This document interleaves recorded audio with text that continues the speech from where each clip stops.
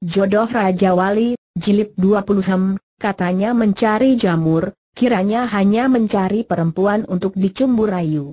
Huh, dasar laki-laki cabul. Kian Bu terkejut bukan main. Dia menoleh dan kiranya darah cantik jelita itu telah berdiri di atas batu dan burung garudanya hinggap di pohon yang tumbuh tinggi di dinding tebing.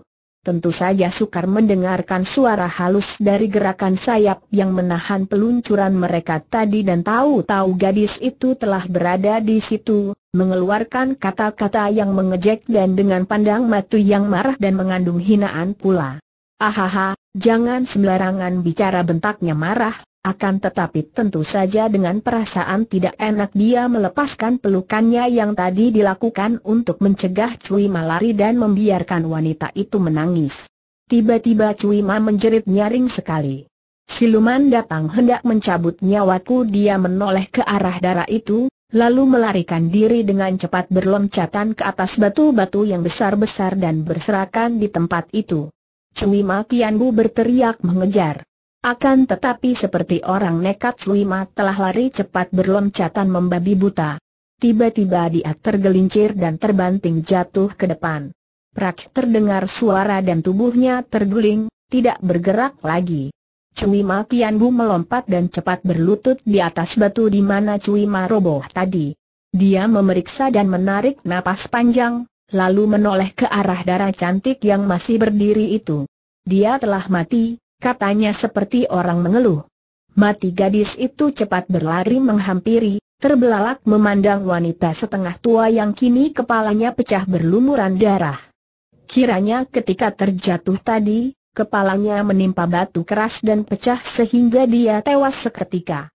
Dan baru sekarang Hwe Eli mendapat kenyataan bahwa wanita yang dipeluk oleh Kian Bu tadi ternyata adalah seorang wanita setengah tua yang mukanya kotor menjijikan dan yang agaknya adalah seorang wanita yang tidak waras otaknya. Dia siapa? Kenapa tanyanya sambil memandang kepada Kian Bu. Tetapi Kian Bu masih merasa marah, sedih dan kecewa melihat nasib Cui Mas sehingga dia tidak menjawab pertanyaan gadis itu, malah tidak mempedulikannya lagi dan dia memondong mayat Suima, dibawanya ke tempat yang ada tanahnya.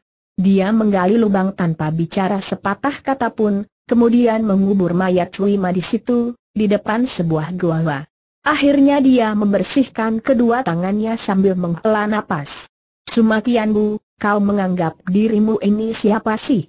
Sikapmu begitu sombong Hwe Eli yang sejak tadi diam saja dan menonton semua yang dilakukan Kian Bu sambil duduk di atas batu besar, kini menegur dengan wajah cemberut karena dia merasa sama sekali tidak diacuhkan oleh pemuda itu. Kian Bu menengok dengan alis berkerut. Engkau telah membuat dia ketakutan dan menjadi sebab kematiannya, dan kau sama sekali tidak menyesal. Eh haha, eh haha. Siluman kecil, ngawur saja bicaramu. Bagaimana duduk perkaranya maka kau katakan bahwa aku menjadi sebab kematiannya Hwe Eli berseru sambil bangkit berdiri dan bertolak pinggang, wajahnya merah karena marahnya. Hem, pemarah benar gadis ini, pikir Kian Bu. Akan tetapi dia tak mau kalah karena memang merasa kasihan sekali kepada Cuima dan mendongkol melihat kedatangan gadis itu yang mengejutkan Cuima. Kau telah mengejutkan dia, mengira engkau siluman maka dia lari lalu terjatuh. Apa kau tidak melihat itu? Huh, kalau dia menganggap aku siluman, apakah itu kesalahanku? Kalau dia takut melihat aku lalu lari seperti gila, apakah itu juga kesalahanku? Kalau kau yang dekat dengan dia tidak mampu mencegah dia lari, apakah itu pun kesalahanku? Kalau memang wajahku jelek sekali seperti siluman sehingga membuat dia takut, apakah itu juga kesalahanku diberondong oleh ucapan yang nadanya menantang dan mengejek, namun tak dapat dibantah kebenarannya itu membuat Kian Bu merasa tidak enak dan serba salah. Memang kalau dipikir benar-benar, tentu saja munculnya gadis itu tidak salah dan tidak sengaja hendak mengagetkan Cui Ma. Kau tidak berwajah jelek, Saking bingungnya dia membantah kalimat terakhir itu. Sudah jelas dia menyangka aku siluman sehingga dia ketakutan. Wajahku jelek seperti siluman, dan apa dayaku? Kalau dia diserang dengan kata yang mengandung kemarahan, agaknya Kian Bu akan dapat membalas karena dia pun terhitung seorang yang pandai bicara, bahkan dahulu sebelum dia menjadi siluman kecil, dia adalah seorang pemuda yang lincah jenaka dan pandai menggoda orang lain dengan kata-kata, akan tetapi sekarang melihat darah itu memburuk-burukan diri sendiri, dia menjadi makin tidak enak. Tidak, tidak, sebaliknya malah, kau cantik sekali. Huh, sudah keluar pula sifat cabulnya Hui Eli mengejek. Sumakian Bu makin bingung. Celaka, gadis ini benar-benar membuat orang menjadi kewalahan dan mendongkol sekali. Maksudku, kau tidak jelek dan karena cantik itu agaknya dia menyangka kau seluman. Tentu saja bukan salahmu, akan tetapi, ahaha, aku kasihan sekali padanya. Nasibnya demikian buruk sampai matinya, dan pemuda itu memandang ke arah gundukan tanah campur batu yang menjadi kuburan Cuima itu. Melihat sikap yang sungguh-sungguh dari pemuda itu, rasa penasaran Hwee Eli juga mereda dan dia bertanya sambil memandang ke arah kuburan itu, siapakah dia itu? Namanya Cuima, dia pelayan dari Angslokbi yang telah menjadi gila karena tekanan batin yang hebat dan dia sampai di sini karena dilempar ke sungai Wang Ho dan hanyut oleh pusaran air. Ih, siapa yang melakukannya dan kenapa? Siapa pula itu Ang Shok Bi? Dia adalah ibu Ang Tek Hoat. Ang Tek Hoat? Ang Tek Hoat? Serasa pernah aku mendengar nama itu Hwe Eli mengerutkan alisnya sambil mengingat-ingat. Mungkin saja. Dia pernah terlibat dalam urusan pemberontakan Pangeran Leong Bin Ong. Dia terkenal dengan julukannya si Jari Maut, Ang Tek Hoat. Ah, benar. Wah, dia terkenal sekali dan orang itu amat menarik. Kau bilang bahwa wanita tadi adalah pelayan ibu si Jarim Out? Melihat betapa Hwe Eli amat tertarik, maka dengan singkat Kian Bu lalu menuturkan tentang pertemuannya dengan Cuima dan tentang cerita Cuima bahwa ibu dari Tek Hoat telah dibunuh oleh orang-orang Butan yang dipimpin oleh orang yang bernama Mohinta, seorang panglima dari Butan yang lihai. Wei Ali mendengarkan dengan penuh perhatian dan dia kembali memandang ke arah kuburan itu. Maafkan aku, tadinya kusangka. Kau sangka apa? Dari atas tadi kulihat engkau memeluk seorang wanita, kelihatan kalian seperti sedang bercinta-cintaan dan bermesra-mesraan. Kian Bu sudah mendapatkan kembali sifatnya yang nakal dan suka menggoda orang. Andai kata benar demikian, mengapa Kedua pipi itu berubah merah dan matanya bersinar marah. Aku sih tidak peduli. Akan tetapi karena kau bilang hendak mencarikan obat untuk Sumakian Li, dan melihat kau bermain gila, maka aku sudah menegurmu. Obat? Ahaha, benar. Agaknya aku sudah menemukan tempatnya, berkat petunjuk dari Cuima, berkata demikian, Kian Bu lalu melangkah menuju ke goa yang ditunjuk oleh Cuima tadi. Wei Li cepat mengikutinya dan mereka berdiri di depan goa besar yang agak gelap karena sinar matahari tidak dapat langsung masuk ke dalamnya. Akan tetapi lambat laun mati mereka sudah menjadi biasa dan ketika mereka memasuki goa, kelihatanlah oleh mereka banyak sekali kerangka kecil di situ. Hem, Cui Ma bilang bahwa goa ini penuh tengkorak bayi dan anak kecil. Agaknya inilah goa tengkorak itu, kata Kian Bu sambil memandang tengkorak dan tulang-tulang yang berserakan. Tidak ada tengkorak bayi atau anak kecil. Ini adalah tengkorak dan kerangka binatang, semacam monyet, hanya mukanya seperti anjing. Hem, tidak salah lagi, ini adalah kerangka binatang baboon yang tubuhnya monyet dan mukanya anjing. Ini agaknya menjadi kuburan mereka. Dan Cui Ma bilang di sini terdapat mata iblis, kata pula Kian Bu. Mereka masuk terus ke dalam goa yang agak panjang itu. Tiba-tiba Wei Eli berseru, ih, dan otomatis tangannya memegang tangan Kian Bu. Pemuda ini pun terkejut sehingga dia pun membalas pegangan tangan itu. Mereka saling berpegang tangan dan jantung mereka berdebar tegang. Jauh di sebelah dalam, di tempat gelap, nampak banyak mata yang mencorong dan bersinar-sinar memandang ke arah mereka. Bukan mata manusia, bukan pula mata binatang, dan agaknya itulah mata iblis yang ditakuti oleh Cui Ma. Tiba-tiba Wei Eli tertawa dan melepaskan tangannya. Ah, memang benda yang berkilau dan mengeluarkan sinar, akan tetapi lihatlah, sinarnya tidak pernah bergerak. Bukan mata, melainkan benda-benda bersinar. Benar engkau, Nona. Dan agaknya inilah yang ku cari-cari. Lihat, bukankah sinarnya berubah-ubah dan seperti warna pelangi? Inilah jamur panca warna itu. Dan menurut penuturan Sai Cukai Ong, jamur itu hanya mengeluarkan sinar di tempat gelap, kalau di tempat terang tidak bersinar. Kian Bu mendekat, berjongkok dan menggunakan tangannya mencabuti jamur-jamur itu. Jamur-jamur itu masih bersinar-sinar di tangannya ketika dia bawa keluar, akan tetapi setibanya di luar, jamur-jamur itu kehilangan sinarnya dan berubah sebagai jamur biasa saja. Inilah obatnya, tidak salah lagi Kian Bu berseru dan menoleh ke arah kuburan Cui Ma sambil berkata, Terima kasih, Cui Ma, engkau telah menyelamatkan kakakku.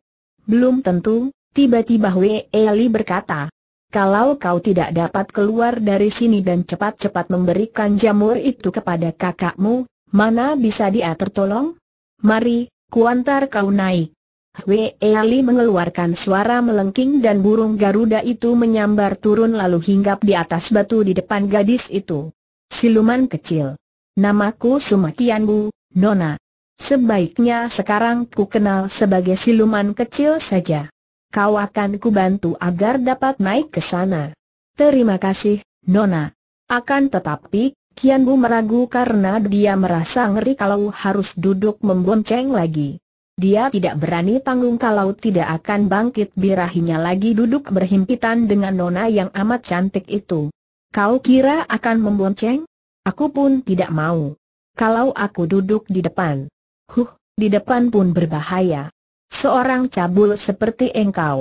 Kalau begitu kau tinggalkan saja aku di sini, Nona, aku akan mencari jalan keluar sedapatku dan aku tidak mau menyusahkanmu. Sombong Hwe Eli lalu meloncat dengan gerakan ringan sekali ke atas punggung garudanya dan burung itu pun terbang ke atas. Hwe Eli menjenguk ke bawah sambil berteriak, kau bergantunglah pada ini dan sehelai sabuk sutera merah muda meluncur ke bawah. Kian Bu tersenyum. Memang banyak akalnya nona ini, pikirnya dan karena dia harus cepat-cepat dapat kembali ke kakaknya, maka dia pun lalu meloncat dan menangkap ujung sabuk sutra itu, bergantung di udara. Gadis itu mengeluarkan suara melengking dan burungnya terbang ke atas dengan cepat sekali. Tubuh Kian Bu tetap bergantung dan diam-diam pemuda perkasa ini merasa ngeri juga. Ia tahu bahwa nyawanya berada di telapak tangan Nona itu karena sekali saja Nona itu melepaskan sabuk, betapapun tinggi kepandaiannya, dia tidak akan mungkin dapat menyelamatkan nyawanya lagi. Untuk keluar dari tempat itu, belum tentu akan dapat dilakukannya dalam waktu berhari-hari karena dia harus akan mencari-cari jalan lebih dulu, tetapi dengan menggantung pada sabuk sutra itu, dalam waktu beberapa menit saja dia sudah tiba di atas tebing dan dia meloncat turun. Burung Garuda itu terbang perlahan-lahan, berputaran di atas kepalanya dan gadis itu menjenguk ke bawah. Siluman kecil, kau cepat bawa obat itu kepada kakakmu.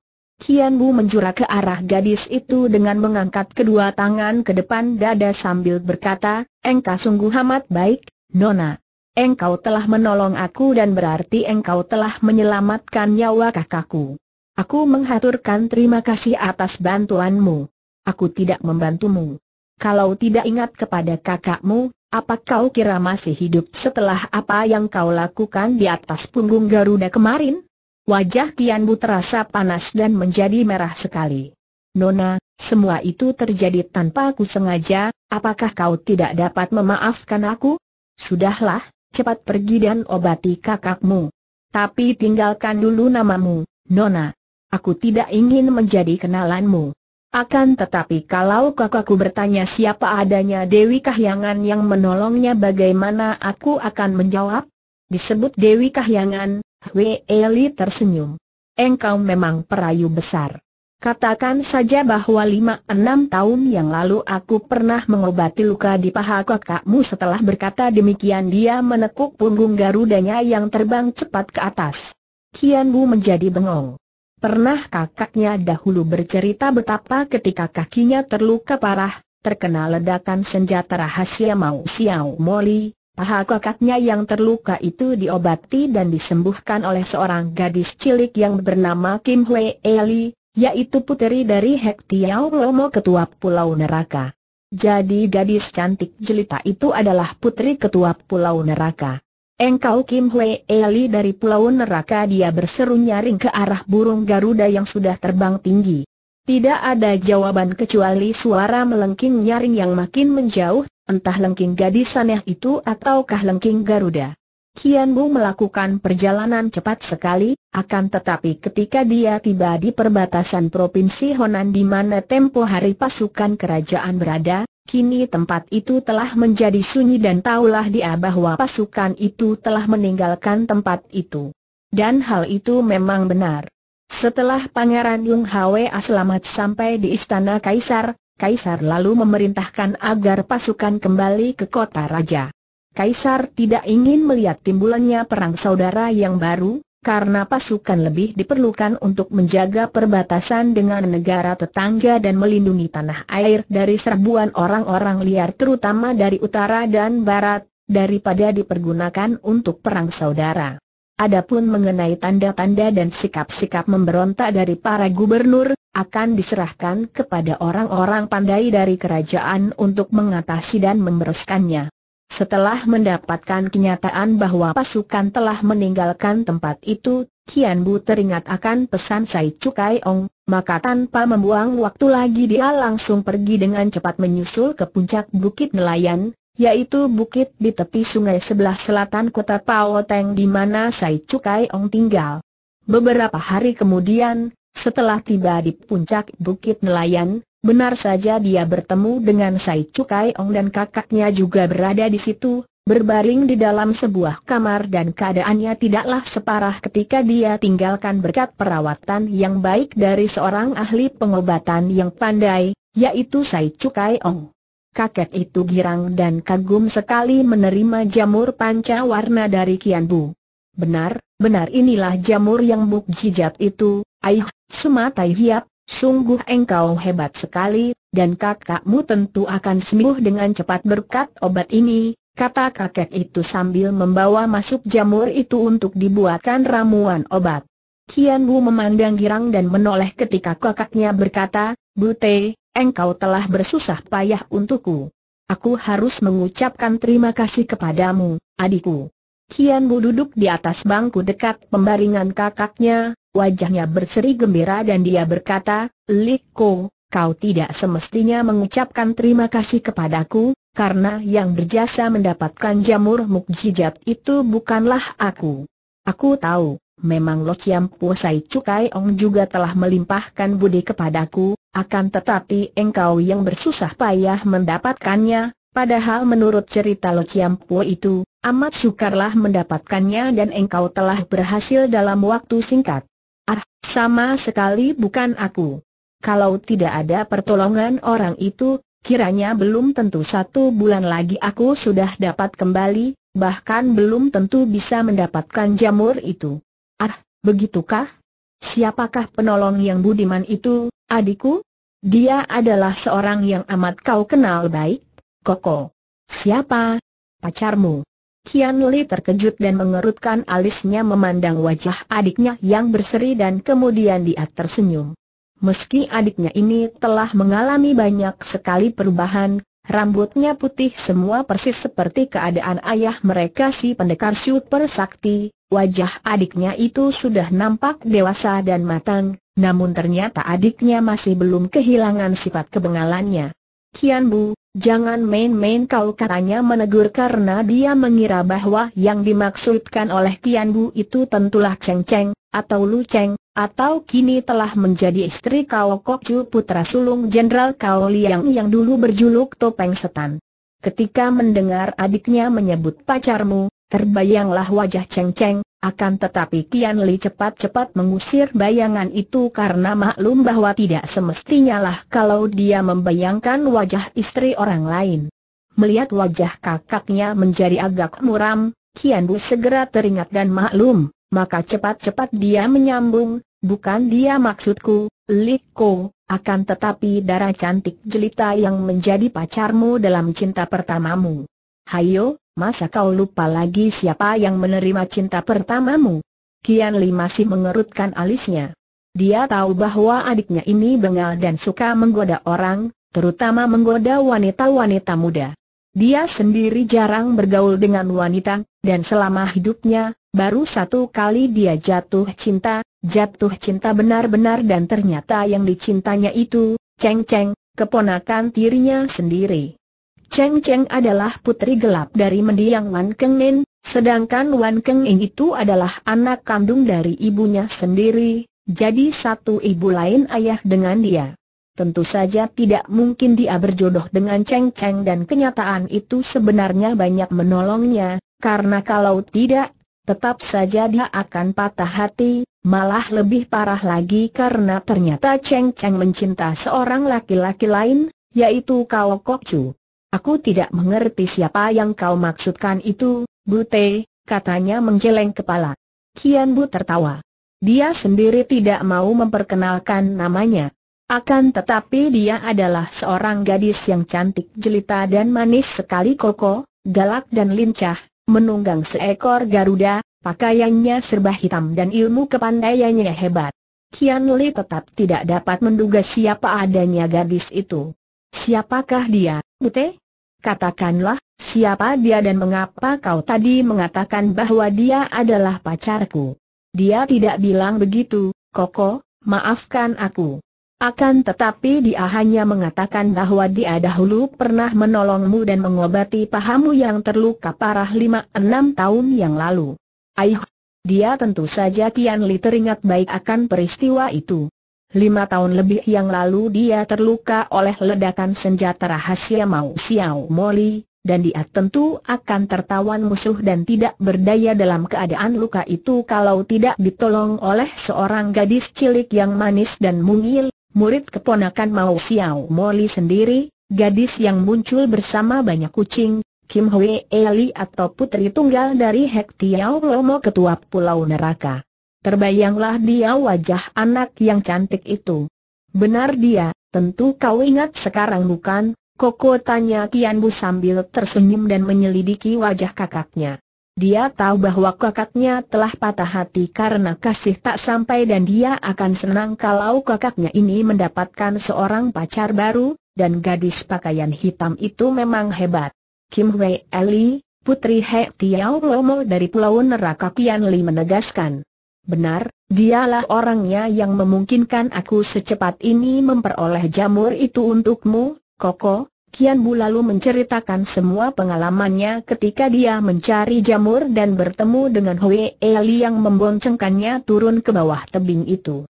Tentu saja dia tidak berani menceritakan tentang peristiwa memalukan dan lucu ketika dia terserang oleh nafsu birahi yang bangkit ketika dia dibonceng di belakang tubuh Hui Eli dan betapa Hui Eli menjadi marah-marah dan menyerangnya sehingga dia terjatuh ke bawah. Dia, dia cinta padamu, Koko. Husyah Kian Li membentak dengan muka berubah merah. Jangan menyalah tafsirkan kebaikan orang, Bute.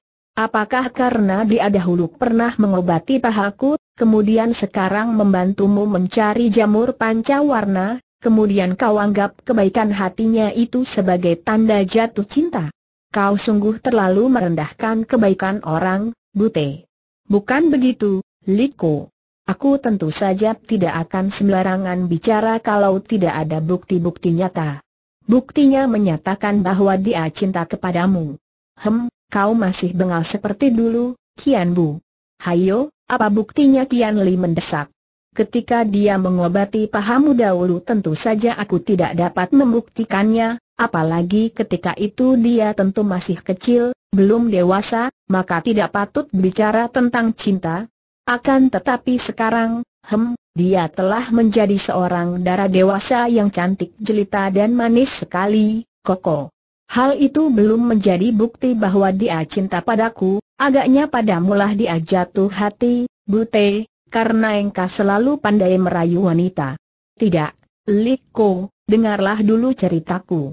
Kukatakan tadi bahwa dia menolongku dengan membonceng garudanya turun ke dasar tebing.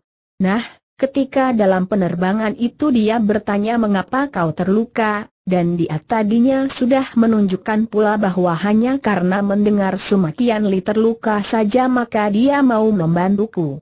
Ketika aku berterus terang mengatakan bahwa kau terluka oleh pukulanku, sebelum aku sempat menceritakan bahwa hal itu kulakukan tanpa sengaja dia sudah menjadi begitu marah dan dia menyerangku sampai aku terjungkal dari atas punggung garudanya. Ah Tian Li terkejut sekali. Untung burung itu telah terbang rendah dan hampir sampai di dasar tebing sehingga aku selamat. Akan tetapi bukankah hal itu jelas membuktikan bahwa dia cinta padamu sehingga ketika dia mendengar engkau luka terpukul olehku dia lalu marah dan hendak membunuhku? Hem, dia ganas kian li berkata lirih. Tentu saja dia tidak memikirkan gadis itu, melainkan memikirkan bahaya yang mengancam adiknya. Akan tetapi dia sudah kuceritakan bahwa perkelahian antara kita adalah karena tidak tahu maka dia berbaik kembali dan mau mengantarku naik dengan garudanya setelah aku berhasil menemukan jamur itu. Karena petunjuk wanita gila itu seperti yang kau ceritakan tadi? Ahaha, sungguh hebat pengalamanmu, adikku. Siapa kira di tempat itu kau bertemu dengan pelayan Ibu Tek Hoat yang menceritakan peristiwa hebat yang menimpa diri Ang Shokdi itu. Entah Tek Hoat sudah mendengar atau belum bahwa ibunya dibunuh oleh Mohinta dan teman-temannya dari Butan. Percakapan mereka terhenti karena munculnya Sai Cukai Ong yang datang bersama Xiao Hang dan Gusin Kai. Xiao Hang membawa periuk obat yang terisi godokan obat yang berwarna hijau. Ahaha, Sumatai Hiap, kata Sai Cukai Ong kepada Kian Bu. Kakakmu tidak boleh diajak bicara terlalu banyak. Dia harus banyak istirahat karena luka yang dideritanya amat hebat. Jamur panca warna ini akan menyelamatkannya, akan tetapi dia harus banyak beristirahat. Kakek ini lalu mengambil periuk dari tangan Xiao Hang dan memberi minum ramuan jamu panca warna yang telah digodok dengan obat-obat lain itu kepada Tian Li. Rasanya pahit, dan baunya tidak sedap, agak amis dan wengur, akan tetapi ada hawa yang hangat menjalar dari perut setelah Tian Li menghabiskan obat semangkok itu. Sekarang, beristirahatlah, Tai Hiap, kata Sai Cukai Ong kepada Tian Li.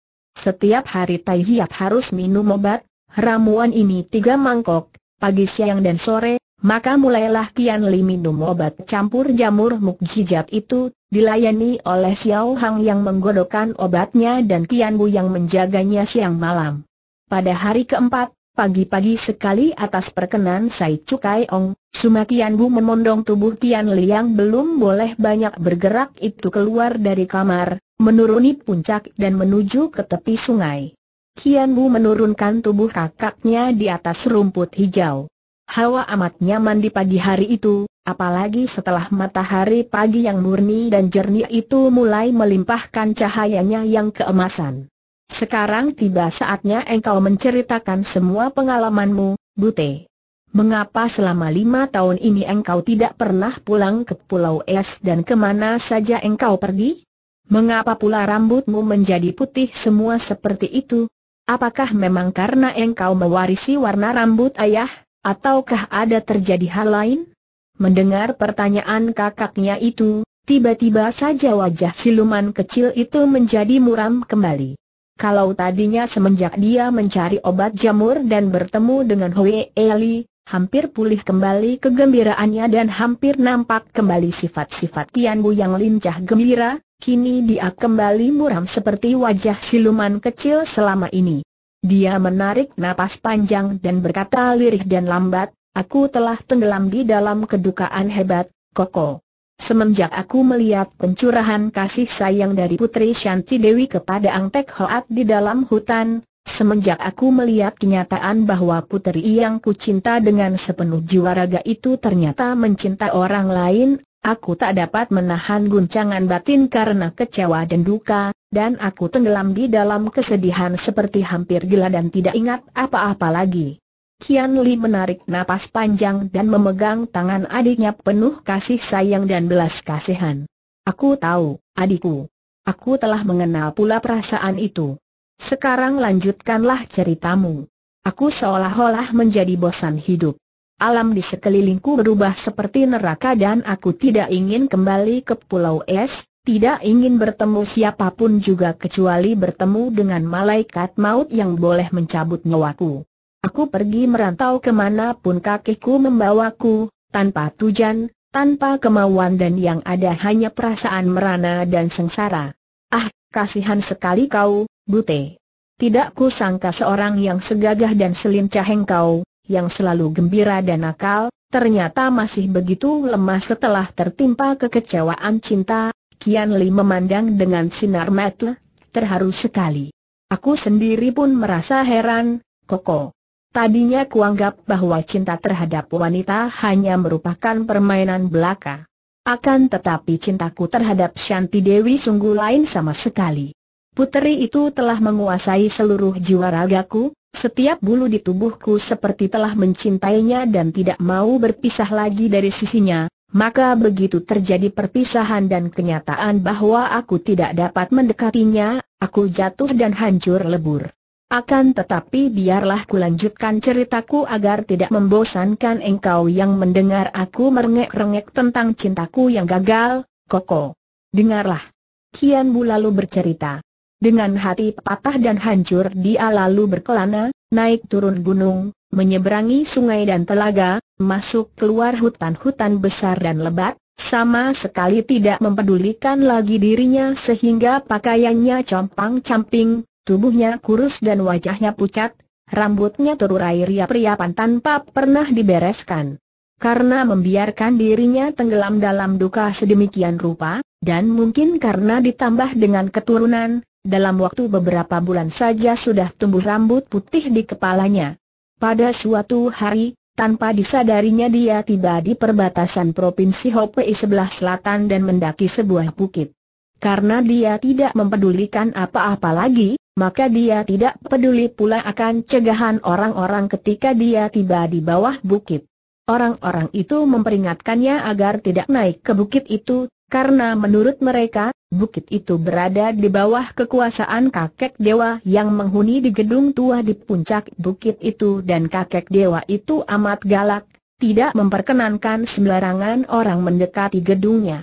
Akan tetapi Kian Bu tidak mempedulikan itu semua, bahkan dia seperti sengaja hendak menempuh bahaya karena baginya pada waktu itu, kalau kematian datang, hal itu dianggapnya baik sekali.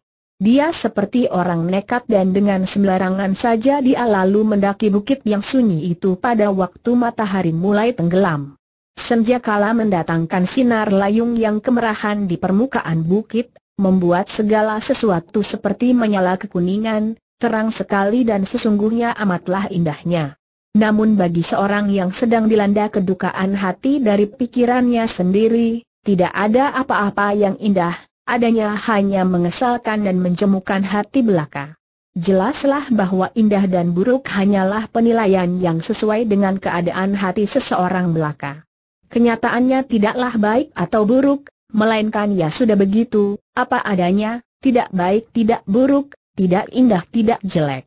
Hanya pikiran dan hati sendirilah yang memberi penilaian, sesuai dengan suka dan tidak suka, menyenangkan dan tidak menyenangkan, menguntungkan dan merugikan.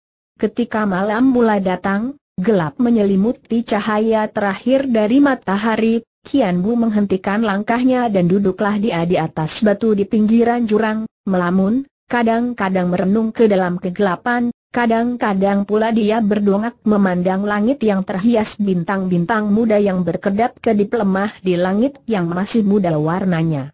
Pikirannya kosong, melayang-layang tanpa arah tujuan tertentu, suasana menjadi lengang dan kesepian menyelimutinya, menimbulkan keternyuhan hati yang makin merana.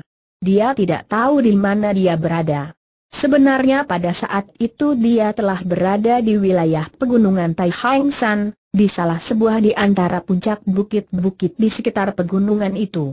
Tiba-tiba terdengar suara suling melengking, memecah kesunyian malam, menyelinap di antara suara belalang dan jengkerik serta binatang-binatang kecil yang biasa meramaikan suasana keheningan malam. Kian Bu tertarik oleh suara suling itu. Sungguh nyaring sekali suara suling itu, Peniupnya tentu seorang yang pandai. Seperti ada daya tarik luar biasa pada suara suling itu. Kian Bu lalu bangkit berdiri dan berjalan menuju ke arah suara itu. Sementara itu, bintang-bintang di langit mulai nampak lebih terang karena langit makin tua warnanya, dan bintang-bintang itu kelihatan seperti permata-permata indah tergantung pada beluru hitam yang bersih. Tidak begitu gelap keadaan di tempat itu sehingga Kian Bu dapat melihat seorang kakek yang duduk bersandarkan batang pohon dan meniup suling. Suara suling itu terhenti seketika dan kakek itu meloncat, di tangan kanannya nampak sebatang tongkat dan sebatang suling yang putih berkilau, yang telah diselipkan di ikat pinggangnya. Kakek itu tinggi kurus dan usianya tentu sudah 65 tahun lebih. Sikapnya agung dan gagah ketika dia berdiri dengan kaki yang terpentang lebar, tongkatnya melintang dan kedua matanya memandang Kian Bu penuh perhatian dan kecurigaan. Siapa kau? Mau apa naik ke bukit ini yang berada di bawah kekuasaan kami? Hayo cepat kau pergi dari sini sekarang juga bentak kakek itu. Kian Bu mengerutkan alisnya. Apakah engkau ini yang dinamakan orang di bawah sana sebagai kakek dewa tanyanya. Kakek itu mendengus dan menggerakkan tongkatnya yang panjang. Kalau benar mau apa? Hem, kalau benar begitu, namamu saja kakek dewa, akan tetapi sikapnya lebih menyerupai kakek iblis. Bocah keparat. Berani engkau memaki Jin Xiao Lo Jin, kakek suling perak. Hayo pergi, aku masih sabar dan dapat mengampunimu. Aku tidak mau ribut dengan seorang bocah masih ingusan. Kian Bu yang memang sedang murung itu, menjadi marah. Kakek sombong, kalau aku tidak dapat mengalahkan engkau lebih baik aku mati saja. Ucapan yang sebenarnya keluar dari hati yang kesal itu tentu saja membuat Gin Xiao Lo Jin menjadi marah bukan main. Bocah tak tahu diri. Pergi bentaknya, dan tangan kirinya menampar. Dia mengira bahwa Tian Bu adalah seorang pemuda ugal-ugalan dari bawah gunung, maka dia bermaksud untuk menampar pundaknya agar pemuda itu takut dan lari. Akan tetapi dapat dibayangkan betapa kagetnya melihat pemuda itu tidak mengelak atau menangkis. Plak tubuh kakek itu terhuyung dan hampir roboh. Maklumlah kakek itu bahwa dia berhadapan dengan seorang pandai yang agaknya memang datang untuk mengacau, maka sambil berseru keras dia sudah menggerakkan tongkat panjangnya menyerang. Wuuuut! Wir! Kian Bu juga kaget. Bukan main lihainya tongkat itu, Gerakannya teramat cepat dan mengandung angin pukulan yang dahsyat. Ternyata bahwa dia berhadapan dengan seorang kakek yang benar-benar amat liai, maka dia pun tidak mau mengalah begitu saja. Cepat dia mengelak dan balas menyerang. Terjadilah perkelahian yang seru dan kakek itu berkali-kali mengeluarkan seruan kaget ketika melihat betapa tongkatnya membalik dan telapak tangannya panas ketika bertemu dengan lengan pemuda itu. Keparat bentaknya. Dengan sepenuh tenaganya karena penasaran, dia mengarahkan hantaman tongkatnya pada kepala Kian Bu. Sekali ini dia menyerang untuk membunuh. Kian Bu menanti sampai tongkat itu menyambar dekat, kemudian dia menggerakkan kedua lengannya memapaki dari kanan kiri dengan gerakan menggunting. Krek-krek tongkat panjang itu patah-patah menjadi tiga potong dan bagian tengahnya terlempar jauh. Ah kakek yang mengaku berjuluk Gin Xiao Lojing itu berseru keras saking kagetnya dan marahnya. Dia adalah murid pertama dari Sin Xiao Seng Jin, kakek Dewa Seruling Sakti, yang menjadi ahli waris dari pendekar sakti suling emas, dan tongkatnya itu adalah sebuah benda pusaka yang selama puluhan tahun berada di dalam tangannya dan belum pernah terkalahkan. Akan tetapi kini patah menjadi tiga bertemu dengan lengan pemuda ini. Tentu saja dia menjadi penasaran, malu dan hal ini membuat ia marah bukan main.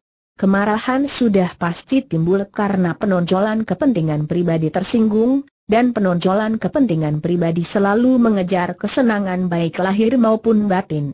Salah satu di antara kesenangan batin adalah bayangan betapa pandainya diri sendiri. Membayangkan bahwa diri sendiri pandai, gagah perkasa, berkuasa dan sebagainya adalah menyenangkan dan kalau bayangan ini dirusak oleh kenyataan, maka akan menjadi marahlah batin. Demikian pula halnya kakek Gin Xiao Lojin itu. Selama ini dia merasa dirinya sangat hebat, tongkatnya amat hebat, akan tetapi kenyataan bahwa tongkatnya patah-patah bertemu dengan lengan pemuda itu membuatnya marah bukan main. Bocah setan, engkau datang mengantar nyawa serunya dan nampak berkelebat sinar putih ketika dia mencabut suling perak dari ikat pinggangnya. Ketika dia dan Sumakian Li, kakaknya, meninggalkan Pulau Es untuk pergi ke kota raja mencari encinya, yaitu Putri Milana, oleh ayah ibu mereka di Pulau Es, mereka dilarang membawa senjata. Dan memang dua orang pemuda Pulau Es itu tidak lagi membutuhkan senjata. Seorang yang sudah memiliki ilmu kepandaian setingkat mereka memang sebenarnya tidak memerlukan lagi senjata.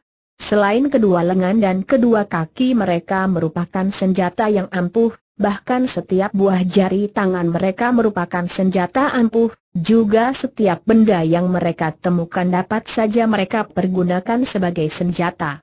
Kini, melihat kakek itu mencabut suling perak yang tadi ditiupnya, Kian Bu bersikap waspada. Dia adalah seorang yang sedang tenggelam ke dalam kekecewaan dan kedukaan, tentu saja melihat orang yang dianggapnya keterlaluan itu dia menjadi marah. Sing sing sing git. Sinar perak berkelebatan seperti kilat yang menyambar-nyambar dahsyat, disertai bunyi berdesingan yang nyaring. Bagus Kian Bu berseru kagum karena memang hebat gerakan suling itu. Cepat dia mengelak ke sana sini dan kemudian terkejutlah dia ketika dia melihat care suling itu digerakkan. Dia mengenal gerakan itu. Cepat dia menghindarkan diri dan karena penasaran dia tidak balas menyerang melainkan mengelak ke sana sini untuk mempelajari gerakan lawan lebih lanjut. Tidak salah lagi, itulah gerakan dari jurus-jurus Pat Sian Kiam Hoat. Dan ilmu ini adalah sebuah di antara ilmu-ilmu keistimewaan kakaknya, Sumakian Li, yang mewarisinya dari ibunya, yaitu Lulu yang pernah menjadi ketua Pulau Neraka, bahkan yang mewarisi kitab-kitab ilmu silat peninggalan pendekar sakti suling emas. Dia sendiri mengenal dan dapat memainkan ilmu Pat Sian Kiam Hoat karena selain dia menerima petunjuk dari ibu tirinya itu, juga ibunya sendiri, Putri Nirahai adalah seorang wanita yang serba bisa dan telah mempelajari semua ilmu, termasuk ilmu dari suling emas ini. Setelah kakek itu menyerangnya sampai sepuluh jurus dan dia yakin bahwa ilmu yang dimainkan itu adalah Pat Sian Kiam Hoat, dia meloncat ke belakang sambil berseru, bukankah yang kau mainkan itu Pat Sian Kiam Hoat? Kakek itu tertegun dan memandang kepadanya dengan heran, kemudian tersenyum mengejek karena mengira bahwa pemuda yang lihai itu merasa takut. Hem, kau sudah mengenal ilmu silatku yang hebat? Bagus, kalau begitu lekas kau berlutut minta ampun dan mengenalkan dirimu agar engkau tak akan menjadi setan penasaran tanpa nama, tewas di ujung suling mautku, kata kakek itu yang merasa mendapatkan kembali harga dirinya. Hem, maling hina. Dari mana engkau mencuri ilmu Pat Sian Kiam Hoat Kian Bu membentak marah. Kakek itu terkejut dan tentu saja dia menjadi marah sekali. Dikiranya pemuda itu menjadi gentar mengenai ilmunya, tidak tahu malah menghinanya dan mengatakannya maling. Terngiang bunyi di dalam telinganya, merah pandang matanya karena darahnya sudah naik ke kepala saking marahnya. Bocah lancang bermulut busuk, mampuslah bentaknya dan dia sudah menggerakkan lagi suling peraknya, kini dengan gerakan yang lebih dahsyat lagi sampai suling itu mengeluarkan suara melengking nyaring seperti ditiup mulut. Kian Bu cepat mengelak, akan tetapi kini dia mengelak lalu membalas serangan lawan dengan pukulan Suat Im Sin Chiang. Wus! Kakek itu pun mengelak karena kaget sekali betapa hawa yang sedang menyambarnya membawa rasa dingin yang menyusup tulang, lalu sulingnya kembali menghujankan serangan. Pertandingan itu cukup hebat karena memang suling kakek itu amat lihai. Akan tetapi bagaimanapun juga, dia bertemu dengan pemuda Pulau Es, putra pendekar super sakti yang sudah memiliki tingkat kepandaian tinggi sekali, maka lewat 30 jurus lebih, hawa sakti dari HWI yang sinciang yang panas itu menyambar dadanya dan Gin Xiao Lojin berteriak keras dan roboh terguling dalam keadaan pingsan dan dengan suling masih tergenggam tangan. Kian Bu memandang tubuh yang rebah pingsan itu, diam-diam merasa heran bagaimana kakek ini dapat menguasai ilmu simpanan dari ibu tirinya yang mewarisi ilmu-ilmu dari suling emas, kemudian dia menghapus peluhnya dan pergi meninggalkan tempat itu. Dia sudah tidak mempedulikan lagi kakek itu karena sudah mulai tenggelam lagi dalam kedukaannya. Akan tetapi ketika dia berjalan di lereng bukit itu, di bawah sinar bintang-bintang di langit, peristiwa pertemuannya dengan kakek yang pandai ilmu peninggalan suling emas itu membuat dia ingat kepada Sumakian Li, kepada ibu tirinya, kepada ayah bundanya sendiri dan kepada Pulau Es dan bangkitlah rasa rindu di dalam hatinya. Teringat kepada mereka semua yang tercinta membuat hatinya makin merasa prihatin, merasa betapa sunyi hidupnya, betapa sengsara hatinya dan pemuda ini kemudian menjatuhkan diri duduk di atas rumput, terasa lemah seluruh tubuh dan dia duduk bersemedi sampai pagi. Pada keesokan harinya, pagi-pagi sekali dia telah disadarkan oleh kicau burung yang riang gembira menyambut datangnya pagi hari yang cerah dan indah. Akan tetapi tidak terasa keindahan itu di hati Kian Bu yang sedang gundah gulana. Dia teringat akan kakek yang dirobohkannya semalam dan hatinya segera merasa menyesal.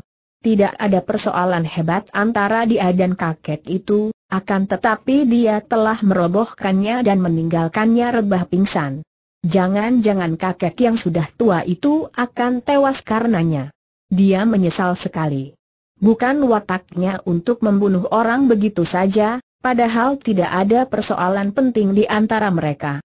Teringat akan ini Tian Bu cepat bangkit dan pergi mendaki bukit itu lagi menuju ke tempat di mana dia berkelahi dengan kakek itu semalam. Akan tetapi ketika dia tiba di tempat itu, di situ sunyi saja dan kakek itu sudah tidak ada lagi di tempat dia rebah semalam. Yang ada hanya burung-burung beterbangan sambil berkicau riuh rendah. Padahal dia tahu betul bahwa di situ tempatnya, bahkan tongkat panjang yang patah-patah milik Gin Xiao Lojin pun masih berada di situ. Agaknya kakek itu sudah siuman lalu pergi dari situ. Kian Bu menarik napas lega. Baik kalau kakek itu tidak mati. Tetapi belum puas hatinya jika belum dapat bertemu untuk menyatakan penyesalannya dan minta maaf. Lebih baik dia berkenalan dengan kakek itu dan bertanya secara baik-baik tentang ilmu silat Pat Sian Kiam Hoat itu. Siapa tahu masih ada hubungan atau pertalian perguruan antara kakek itu dengan ibu tirinya. Kalau memang benar demikian, bukankah berarti bahwa dia telah merobohkan kerabat atau kawan sendiri? Dia merasa makin menyesal dan mulailah dia mencari-cari di sekitar tempat itu. Akan tetapi sunyi saja di sekeliling situ, sunyi yang amat indah karena pagi itu memang cerah sekali. Tiba-tiba dia mendengar suara orang bersenandung, lapat-lapat terdengar olehnya. Cepat Sumakian Bu melangkah menuju ke arah suara itu yang makin lama makin nyata. Kiranya itu adalah suara wanita yang amat merdu dan kiranya bukan nyanyian yang disenandungkan itu, melainkan doa yang dinyanyikan dengan suara yang amat merdu dan halus. Tak lama kemudian nampaklah orangnya yang berdoa itu dan kiranya dia adalah seorang Nikou, pendeta Buddha wanita, yang sedang memetik daun obat. Niko itu sudah tua, tentu sudah hampir 60 tahun usianya. Tubuhnya masih ramping, wajahnya masih berkulit halus dan putih, masih nampak nyata bekas-bekas kecantikan seorang wanita, dan sekarang wajah itu nampak agung dan suci, di bawah kerudung yang berwarna kuning. Seorang Niko tua yang berwajah lembut, yang memetik daun obat sambil berdoa, Begitu bahagia nampaknya. Tiada bedanya antara dia dan burung yang sedang berkicau di atas dahan pohon, asik dengan keriangan menyambut pagi yang indah. Ah, Niko itu agaknya tidak asing dengan tempat ini. Tentu dia tahu di mana dia dapat bertemu dengan Gin Xiao Lo Jin. Berpikir demikian, Kian Bu lalu membalikan tubuh hendak menghampiri, akan tetapi pada saat itu, Niko tadi pun agaknya sudah selesai memetik daun obat dan melangkah pergi. Dan terkejutlah pemuda Pulau Es itu. Sekali berkelebat, Niko tua itu seperti terbang saja cepatnya meninggalkan tempat itu. Bukan main cepat dan ringannya gerakan kedua kaki Niko itu yang seolah-olah dapat terbang di atas rumput, pergi sambil terus bersenandung. Tentu saja Kian Bu menjadi kagum bukan main. Mengapa bermunculan begitu banyak orang pandai di tempat ini, pikirnya. Gin Xiao Lojin itu sudah hebat, bahkan pandai memainkan ilmu silat tinggi Pat Sian Kiam Hoat. Dan Nikowi ini pun bukan main ilmu ginkangnya, seolah-olah pandai terbang saja. Dia menjadi penasaran dan mengerahkan ginkangnya untuk lari mengejar. Akan tetapi, dapat dibayangkan betapa kagetnya ketika dia mendapat kenyataan bahwa dia tidak mampu menandingi kecepatan gerakan Niko itu. Niko itu seperti terbang di atas rumput-rumput, mendaki bukit dan dia terus mengejar, mengerahkan seluruh kepandaiannya karena Kian Bu merasa penasaran sekali.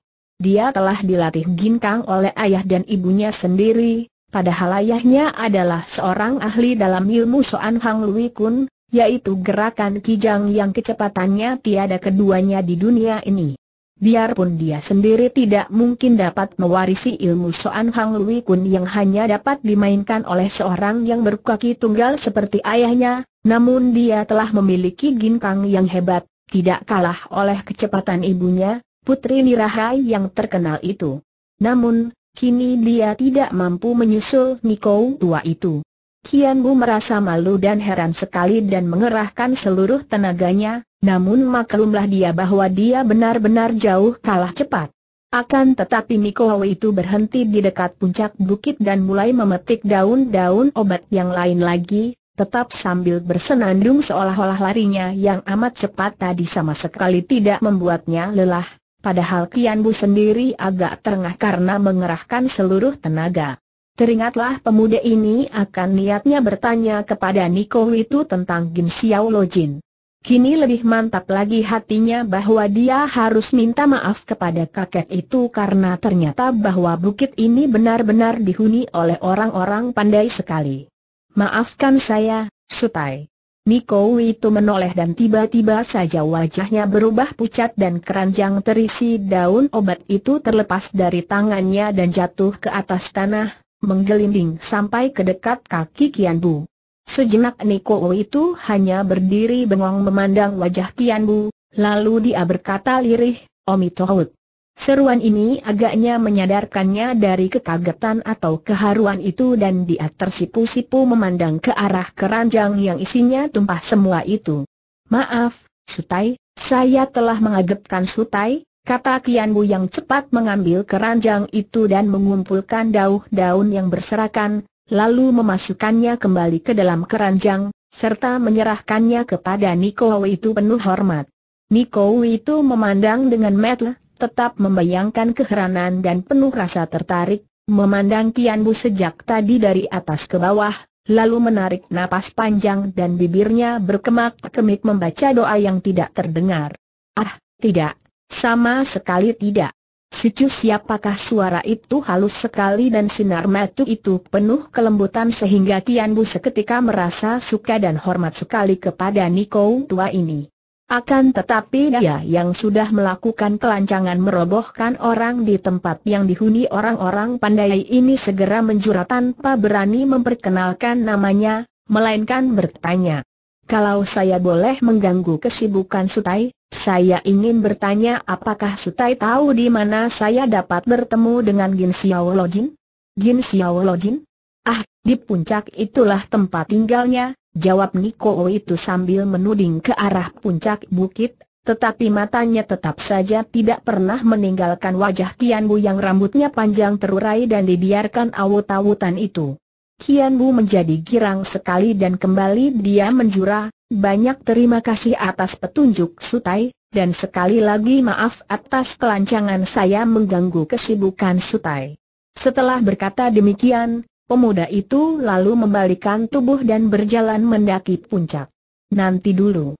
Si Chu, siapakah si Chu terdengar Niko itu bertanya. Kian Bu menoleh dan merasa tidak enak. Dia telah berbuat salah di tempat itu, bagaimana harus memperkenalkan nama. Akan tetapi, Niko itu demikian ramah dan halus budi, tidak mungkin pula tidak menjawab. Sutai, saya Susuma, maaf. Dia lalu melanjutkan perjalanan dengan cepat naik ke atas puncak. Sama sekali dia tak tahu betapa jawaban itu membuat Niko ini kembali menjadi pucat sekali wajahnya, matanya terbelalak dan tangan kirinya otomatis menyentuh dada kiri. Omi Tohut, Omi Tohut, Omi Tohut, berulang-ulang ia memuji dan tidak mempedulikan lagi keranjangnya yang jatuh untuk kedua kalinya. Kini dia telah melangkah perlahan-lahan naik ke puncak, Sepasang matanya memandang ke arah bayangan Kian Bu dan mulutnya masih terus menyerukan pujian untuk Seng Buddha. Sementara itu, Kian Bu sudah mendaki puncak dengan cepat dan tibalah dia di depan sebuah rumah yang besar dan kuno. Rumah itu kelihatan sunyi saja seperti tidak ada penghuninya, akan tetapi ketika dia menghampiri pintu depan, terdengarlah suara dari dalam, suara yang berwibawa dan mengandung tenaga hikang amat kuat, Inikah pemuda yang kau ceritakan itu? Benar, suhu. Kian Bu terkejut. Suara yang menyebut suhu itu adalah suara Gin Xiao Lo Jin. Dan kini keluarlah dua orang dari dalam rumah kuno itu yang bukan lain adalah Gin Xiao Lo Jin bersama seorang kakek yang lebih tua lagi, yang usianya tentu sudah ada 75 tahun, namun masih bersikap agung dan gagah.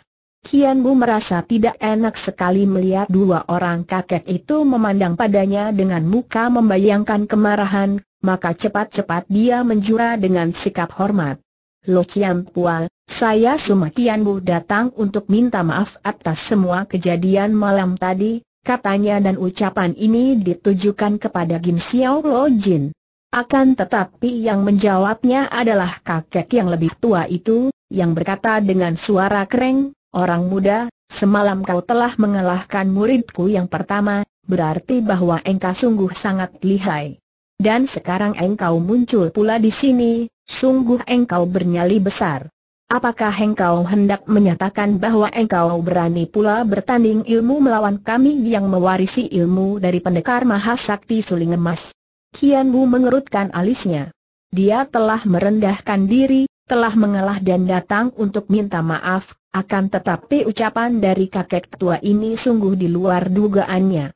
Tersembunyi kesombongan besar dalam ucapan itu.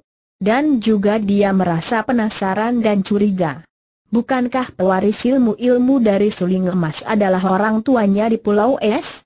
Bukankah kitab-kitab ilmu dari pendekar suling emas terjatuh ke tangan Ibu Lulu? Ibu tirinya dan bahkan pusaka suling emas menurut ibunya pernah dipakai sebagai senjata oleh ibunya sendiri?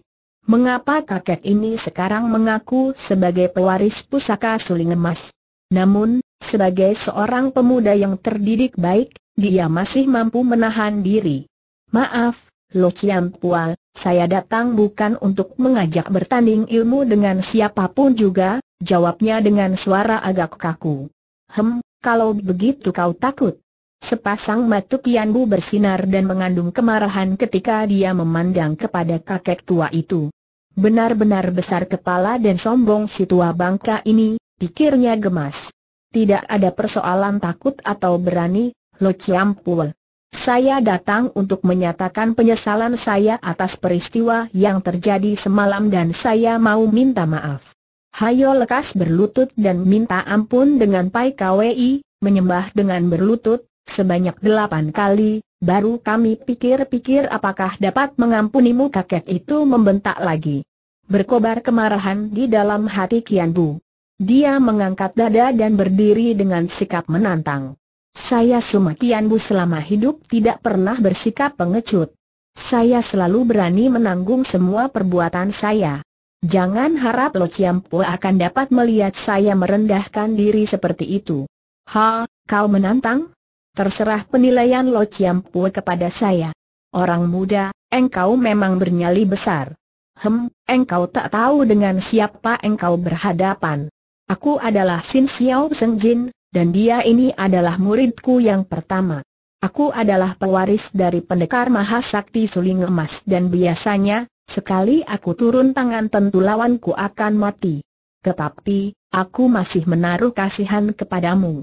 Cukup, Lo Chiampul. Aku tidak takut akan segala ancaman, tidak takut mati. Akan tetapi tentang mewarisi pusaka pendekar suling emas, Hal itu kiranya masih harus diselidiki lebih dulu. Kalau memang benar pusaka itu ada pada tangan Lo Chiam Pua, maaf kalau saya berani mengatakan bahwa Lo Chiam Pua tentu telah mencurinya. Keparat Gin Xiao Lojin marah sekali dan sudah menerjang maju dengan pukulan tangan kanan. Des! Tubuh Gin Xiao Lojin terpental dan tentu dia sudah terbanting ke atas tanah kalau saja tangan kiri Sin Xiao Senjin tidak diulur dan dengan cekatan sekali kakek ini menangkap leher baju muridnya dan mencegah muridnya terbanting. Gerakan kakek itu cepat sekali sehingga mengagumkan Tian Bu, sebaliknya Sin Xiao Senjin juga terbelalak melihat betapa tangkisan orang muda itu membuat muridnya terpental. Orang muda, engkau benar-benar berani sekali. Terpaksa aku tidak memandang lagi usia, dan bersiaplah untuk menandingi pewaris ilmu-ilmu suling emas. Orang ini terlalu menonjol-nonjolkan diri sebagai pewaris suling emas, pikir Kian Bu dengan hati mendongkol. Jelas bahwa dia telah mengaku aku saja, atau kalau melihat betapa muridnya dapat mainkan Pat Sian Kiam Hoat, agaknya kakek ini telah mencuri kitab-kitab itu dari Pulau Es. Baiklah, ingin aku melihat sampai di mana kehebatan ilmu-ilmu yang palsu itu. Sin Xiao Senjin sudah marah sekali dan karena dia maklum betapa lihainya pemuda itu, maka dia sudah mencabut suling emas yang terselip di pinggangnya dan menerjang maju. Swing gak, singgit. Kian Bu terkejut. Sinar emas berkilauan itu memang hebat bukan main dan matanya terbelalak memandang ke arah suling emas di tangan kakek itu yang tadi hampir saja mengenai kepalanya kalau saja dia tidak cepat-cepat mengelak. Dari mana kakek ini mendapatkan senjata pusaka ampuh itu? Apakah benar itu suling emas, senjata dari pendekar sakti suling emas ratusan tahun yang lampau, seperti yang diceritakan oleh ibunya? Akan tetapi dia tidak diberi kesempatan untuk berheran-heran lebih lama lagi karena sinar emas itu bergulung-gulung dan sudah menerjangnya dari segala jurusan dengan amat dahsyat. Kian Bu cepat mengelak dan membalas dengan melancarkan pukulan HWI yang sinciang yang tidak kalah dahsyatnya. Namun ternyata kakek itu gesit sekali, juga ketika dengan lengan kiri menangkis, dari lengannya menyambar hawa sinkang yang amat kuat, bahkan tidak kalah kuatnya dari tenaga sinkang yang dikuasai oleh Kian Bu sendiri sehingga keduanya terhuyung ke belakang. Kakek itu makin terkejut, akan tetapi juga Tian Bu merasa kaget dan berhati-hati.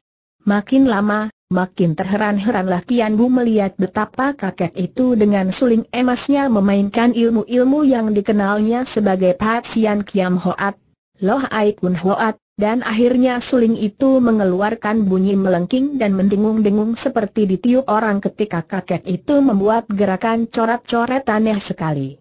Kian Bu mengenal gerakan ini sebagai ilmu mukjizat Hang In Bun Hoat, ilmu yang amat ampuh dari pendekar suling emas, yang amat sukar dipelajari, bahkan ibu tirinya, Lulu sendiri pun belum dapat menguasainya secara sempurna. Ilmu ini didasari kepandaian sastra, kepandaian menulis huruf indah dan dari gerakan coret-coret huruf inilah maka diciptakan ilmu silat yang amat mukjizat ini. Kau, kau pencuri teriaknya kaget.